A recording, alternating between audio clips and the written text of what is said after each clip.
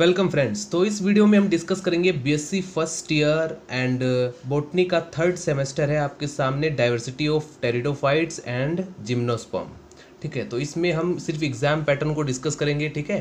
तो इसमें किस तरह से क्वेश्चन आता है, कितने मार्क्स का होता है तो 15 मार्क्स का क्वेश्चन होता है आपका कंप्लीट एंड थ्री हावर्स तीन घंटे में आपको पूरा पेपर सॉल्व करना होगा। तो इस इस एग्ज़ाम पेपर से सिर्फ़ एक आइडिया लगाएँगे किस तरह से क्वेश्चन पूछा जाता है, ठीक है? और यहाँ पर पैटर्न को देखना है हमको। तो देखिए सेक्शन इसमें आपका जो पूरा पेपर होता है, वो फाइव सेक्शन में डिवाइड होगा। Section A section B section C section D section E पाँच सेक्शन और सेक्शन ए सबसे अलग होता है और ये सेक्शन ए जो होता है, यही आपके कंप्लीट मार्क्स को डिफाइन करेगा कि आपके कितने अच्छे नंबर लाते हो, यही डिफाइन करता है। ऐसा मैं क्यों कह रहा हूँ? क्योंकि आपको पता होना चाहिए कि इसमें दस शॉर्ट क्वेश्चन आते हैं और एक शॉर्ट क्वेश्चन दो नंबर का होगा, ये पूरा सेक्शन बीस नंबर का होता है, ठीक है? तो पूरे पचास में से बीस नंबर का सेक्शन ए होता है। अगर आपने इस पूरे सेक्शन को सोल्व कर दिया तो आपको बीस नंबर कंप्लीटली मिलते हैं, क्योंकि दो नंबर में से आपको कोई मार्क्स की कटिंग नहीं होगी, ठीक है? तो अगर आप इसमें अच्छी तरह से जो भी प्रश्न को पूछा गया उसमें अच्छी तरह से जवाब दे दे तो आपका एक भी नंबर नहीं कटता। सबसे पहले देखिए शॉर्ट क्वेश्चन पर चलते हैं सेक्शन ए में। Draw a label diagram of the structure of strobilus of lycopodium तो लाइकोपोडियम, सिनेजिलेला, ये सब क्या है? ये एक जो है टेरिडोफाइट्स हैं।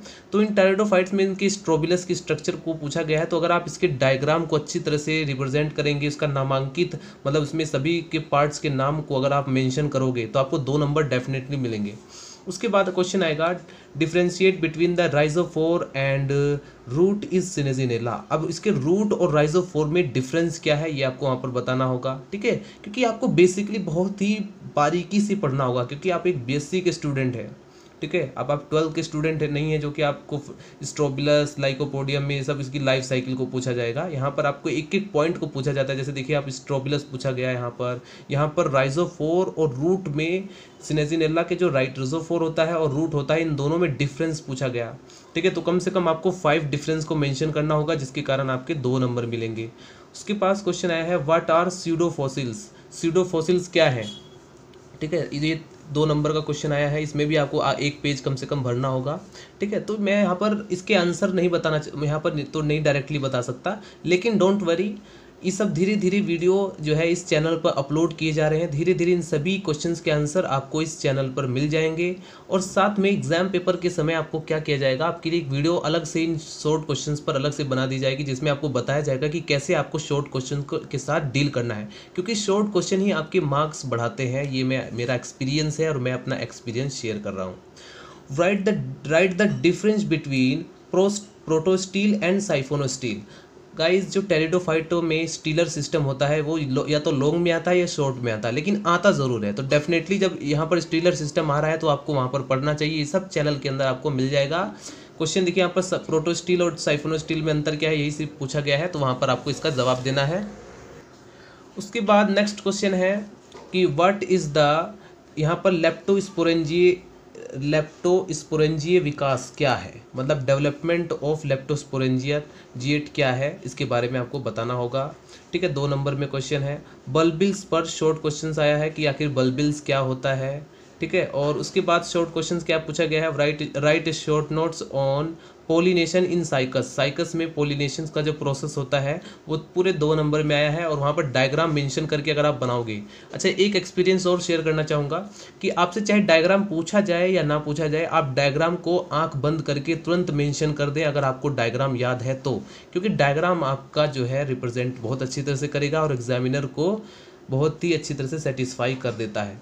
उसके बाद एक क्वेश्चन आया है व्हाट आर सेंट्रीफ्यूगल है? सेंट्रीपीटल ऑफ़ जाइलम ठीक है? तो what are centripetal and centrifugal xylem क्या है? इनके बारे में या तो आप डिफरेंस पता है तो डिफरेंस मेंशन कर दें थ्योरी पता है थ्योरी मेंशन कर दें डोंट वरी उसके बाद क्वेश्चन आता है what are the double fertilisation जैसे इफेड्रा जो है उसमें डबल फर्टिलाइजेशन पाया जाता है तो उसके बारे में आप बता सकते हैं, ठीक है? दो बार फर्टिलाइजेशन डबल फर्टिलाइजेशन का क्या मतलब होगा? दो बार फर्टिलाइजेशन ये तो नॉर्मली आपको पता है इतना तो लेकिन वहाँ पर एग्ज़ाम्पल को देकर भी आपको समझाना होगा, तभी दो नंबर मिलेंगे। एक आता है डिफाइन द हेट्रोस्पोरी यहाँ तो लेटिरोस्पोरी भी बोल दिया गया है, इसे हम बोलते हैं हिटरोस्पोरी विषम बीजाणुता क्या है? ठीक है तो सिलेजी ये सिलेजी लेना में पाया जाता है हेट्रोस्पोरी वो सब आपको वहाँ पर मेंशन करना होगा, ठीक है? तो आप उसके प्लांट में जाकर के बता सकते हैं एग्ज़ाम्पल में सिलेजी नेला में हेट्रोस्पोरी पाई जाती है, दो तरह के स्पोर्स प्रेजेंट होते हैं। समझ रहे हो?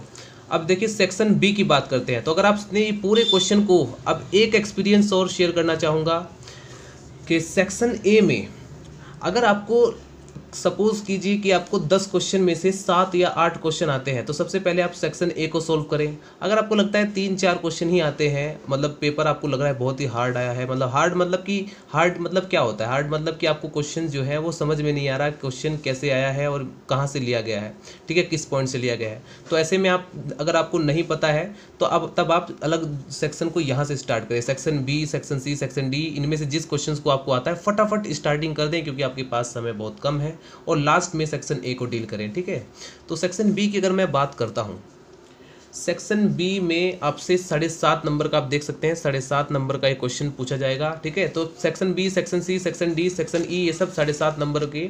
इसमें आपको दो दो क्वेश्चन मिलेंगे और दोनों में ऑप्शनली एक एक क्वेश्चन करना होगा, ठीक है? तो यहाँ पर सबसे पहले क्वेश्चन नंबर देखिए, ग्यारह है draw label diagram of the following अब यहाँ पर आपको डायग्राम बनाना होगा। ये देखिए लॉन्ग क्वेश्चन साढ़े सात नंबर में आया है। T S transverse section stem of selagi selaginella. तो सिलेजी नेल्ला के ट्रांसफ़र सेक्शन, उसके स्टेम का, उसके तने का ट्रांसफ़र सेक्शन आपको बताना होगा। उसका डायग्राम दिखा करके बहुत अच्छी तरह से रिप्रेजेंट करें ताकि और फिर उसके बाद उसमें जितने भी पार्ट्स हैं, सब कुछ बताएँ उसके बारे में, ठीक है? तो यहाँ पर आपके नंबर जो है फाइव नंबर या जितने नंबर का, साढ़े तीन नंबर, अगर आधे आधे नंबर का भी होगा तो मिल जाएगा। उसके बाद क्वेश्चन आया है longitudinal section of cone of selaginella selaginella का लॉन्गिट्यूडनल सेक्शन पूछा गया है इसके कोन का। तो इसके बारे में भी आप वहाँ पर मेंशन करेंगे तो साढ़े सात में से अगर सात नंबर भी मिल गए तो बहुत बढ़िया, ठीक है? क्वेश्चन आया है next describe the internal structure of lycopodium roots with the suitable diagram अगर अगर आपको ये क्वेश्चन ऊपर वाला नहीं आता और ये आता है लाइकोपोडियम के जो जो लाइकोपोडियम के रूट की बात की गई है, उसका, इसके इंटरनल स्ट्रक्चर की बात कही है सूटेबल डायग्राम्स की तो आप इसे मेंशन कर सकते हैं, ठीक है? सेक्शन सी मैंने आपको बताया था कि दो क्वेश्चन पूछे जाएँगे, इन दोनों में से आप एक सॉल्व कर सकते हैं। सेक्शन सी में देखिए क्वेश्चन पूछा गया है write a brief account of heterospory यहाँ पर हिट्रोस्पोरी के बारे में पूछा गया है एंड सीड हैपिट ठीक है? बीज स्वभाव और हिट्रोस्पोरी के बारे में पूछा गया है। तो आप सिलेजी नेला का एग्ज़ाम्पल देकर के बहुत अच्छी तरह से बता सकते हैं। लेकिन ऑप्शनली में बहुत ही प्यारा क्वेश्चन आया है। Describe the internal structure of इस of sporocarp of marsilea marsilea का स्पोरोकार्प बहुत ही अच्छा टॉपिक है गाइज़ इसमें आपको डायग्राम से लेकर के इसके transverse section longitudinal section horizontal section इन सभी का डायग्राम बना करके आप बहुत अच्छी तरह से इसे एक्सप्लेन कर सकते हैं, ठीक है? और ये मैं धीरे धीरे चैनल पर जब अपलोड करूँगा तब हम समझेंगे कि मर्सिलिया का स्पोरोकार्प कितना बेहतरीन और बहुत ही अच्छा पॉइंट है एग्ज़ाम में एक्सप्लेन करने के लिए। ठीक है तो आपको ऐसे क्वेश्चन सेलेक्ट करने हैं जो कि जिसके बारे में आप कुछ जानते हो, अच्छी तरह से एक्सप्लेन कर सकते हो। जिसके बारे में आप ज़्यादा एक्सप्लेन कर सकते हो, वो क्वेश्चन चूज़ कीजिए। सेक्शन डी की अगर हम बात करते हैं तो सेक्शन डी में क्वेश्चन पूछा गया है describe the internal structure of Cycas rachis ठीक है? साइकस के रेकिस की जैसे रेचिस भी कई लोग बोलते हैं, लेकिन रेकिस बोलना बहुत ही अच्छा होगा। ठीक है? यहाँ पर देख सकते हैं, हिंदी में भी रेकिस लिखा हुआ है। So that's why describe the structure of Cycas rachis यहाँ पर साइकस के रेकिस का डायग्राम स्ट्रक्चर सब कुछ मैंसन करना होगा। ठीक है? और यहीं पर देखिए क्वेश्चन आया है ऑप्शनली आपके सामने give any recent classification system of gymnosperm recently जो भी क्लासिफिकेशन दिया गया हो जिम्नोस्पम्स के ऊपर, और वहाँ पर क्या मेंशनिंग किया गया है? क्राइटेरिया यूज्ड एंड एग्ज़ाम्पल भी वहाँ पर पूछा गया है। तो ऐसे में क्या होगा कि अगर आपको ये क्वेश्चन नहीं आता, फिर तो आपको साइकस का रेकिश की ही साइकस का जो रेकिस है, उसकी इंटरनल स्ट्रक्चर को ही एक्सप्लेन करना होगा। ठीक है? अगर ये आता है तो बहुत बढ़िया से। ये सब सब मैं धीरे धीरे चैनल पर अपलोड कर दूँगा। गुड न्यूज़ आपके लिए ये है। सेक्शन ई की बात करते हैं। सेक्शन ई क्या पूछता है? Describe the anatomical features of pinus needle जो पाइनस है, उसके निडिल के बारे में पूछा गया है anatomical features of Pinus needle पूरा साढ़े सात नंबर में क्वेश्चन पूछा गया है। ठीक है तो आपने क्या देखा? अच्छा एक चीज़ ऑब्ज़र्व करो कि आप, हम जो यहाँ पर रिप्रोडक्टिव सिस्टम याद करके जाते हैं गेमिटोफाइट स्पोरोफाइट देखिए कभी कभी इनके स्टेम के बारे में हम स्टेम या फिर उसके बल्बिल्स की structure internal structure rachis structure या लीफ की स्ट्रक्चर इन सबको हम याद नहीं करते रूट की स्ट्रक्चर को याद नहीं करते तो ये हमारे लिए देखिए यहाँ पर कितना फ़ायदेमंद होगा इस पेपर इस पेपर में जो भी सॉल्व करके आएगा मतलब उसे स्टेम और उसने स्टेम के बारे में भी अच्छी तरह से स्टडी किया होगा, ठीक है? अब देखिए व्हाट इज़ द फोसिलाइजेशंस अब यहाँ पर जीव, जीवाश्मीकरण के बारे में पूछा गया है and describe the different types of fossils तो फोसिल्स के बारे में पूछा गया। फोसिल्स क्या है? बेसिकली आपको पता है कि फॉसिल जो है वो एक जीवाश्म होता है, जैसे कई साल से दबे हुए ऐसे जीवाश्म, जैसे किसी गड्ढे या किसी पहाड़ी इलाके में, यह यहाँ पर प्लांट के अंदर स्टडी किया गया इसका मतलब प्लांट फॉसिल्स की भी बात कही। आपके बॉटनी लैब में देखना, आपके बहुत पुराने पुराने कई ओल्ड ओल्ड टाइम के चावल होंगे राइस होंगे, कई टाइप के होंगे। तो ये सब वो है फोसिल्स के रूप में आज तक जो इनकी, इनके, इन फोसिल्स की स्टडी के द्वारा ही तो हम पता लगाते हैं कि कैसे इवोल्यूशन कैसे विकास हो रहा है, कौन से प्लांट जो है वो विलुप्त हो रहा है, ठीक है? कौन सा वहाँ पर प्रेजेंट है, कौन सा विलुप्त हो रहा है, कौन सा ज़्यादा इस समय सर्वाइव कर पा रहा है, इस सब का डिसीज़न हम उसमें निकालते हैं। तो ये था पूरा आपका क्वेश्चन ठीक है? आई होप आपको इस इस एग्ज़ाम पेपर से आपको बहुत ही हेल्प मिली होगी, ठीक है? ये 2017 का एग्ज़ाम पेपर है। आपको एग्ज़ाम पेपर में ये नहीं देखना कि कौन कौन सा क्वेश्चन आया हुआ है, कौन सा नहीं। हमेशा एक एक्सपीरियंस और शेयर करना चाहूँगा। फाइनली आप कहोगे एक्सपीरियंस शेयर कर रहे हैं यहाँ पर।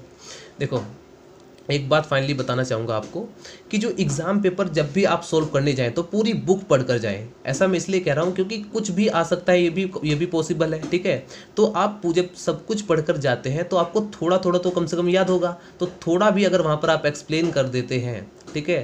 अब यहाँ पर एग्ज़ाम एग्जामिनर क्या चेक करता है? एग्जामिनर बेसिकली आपका पूरा पेपर में से देखता है कि उसने क्या लिखा है, कैसे डायग्राम बनाया है।